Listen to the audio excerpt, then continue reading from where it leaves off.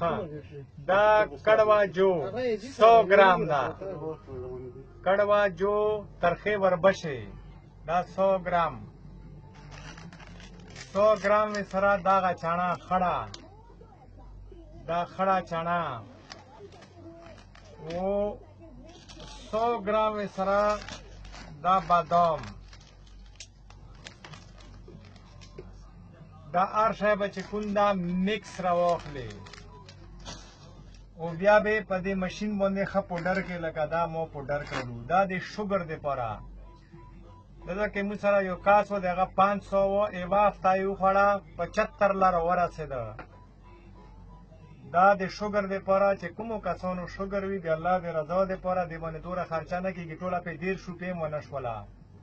خو آرام ور باندې ډیر د شوګر انسان لا ورچی د څه د ما نه خپل ډبي ډاکړلو مال ور باندې خه کافي آرام راغی چاله چې دا ویډیو ویر شي نو دا بیا شیر کو دا یو شی اجی دې لچی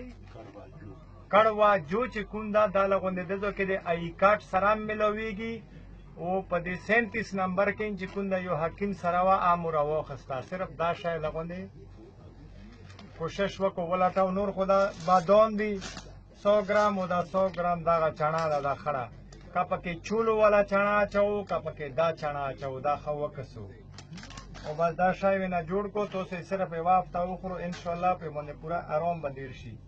صحیح شو السلام علیکم